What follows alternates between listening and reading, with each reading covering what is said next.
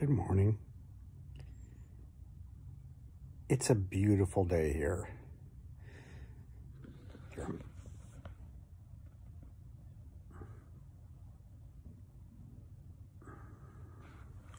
It's rained for three days and now it's clear and crisp and fallish and lovely. And there's birds and there's cats. And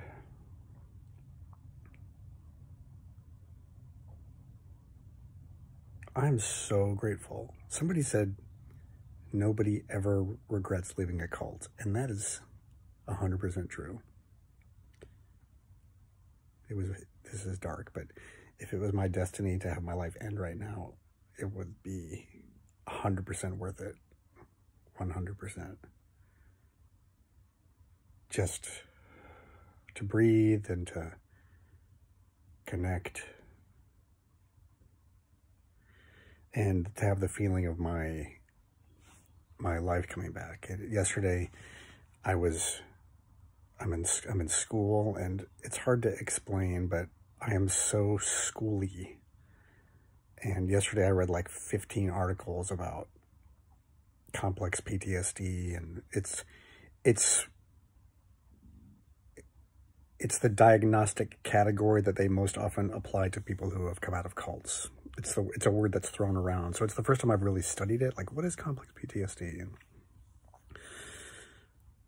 um, it's really interesting because I'm not sure that I actually am diagnosable in that category.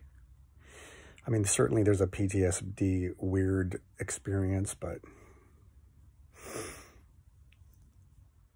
depression, deflation, anger, all of it coming out of an abusive relationship. But when it actually comes down to the scientifically grounded, evidence-based category, blah, blah, blah.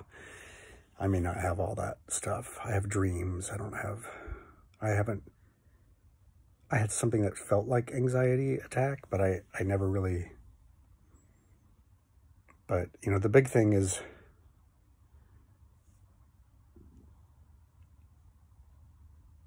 the women that I know who have come out of the group who have been sexually abused, that is such a grueling process because they isolate themselves from shame and God knows how many years it takes for them to kind of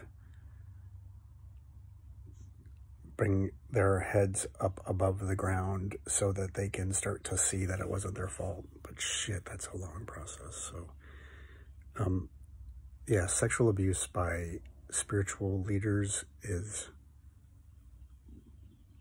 causes deep, deep, deep damage. And when the spiritual leader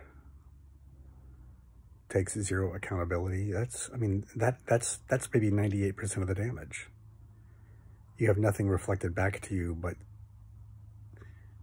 a powerful person that blames you completely for your conflicted experience.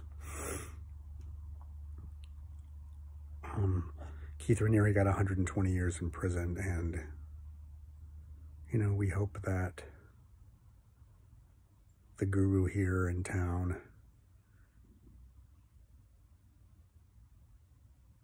he may never reflect on his behavior, but maybe his behavior will change because he's afraid of consequences. So,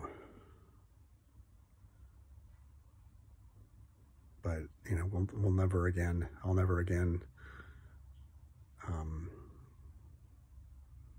enter into that kind of relationship.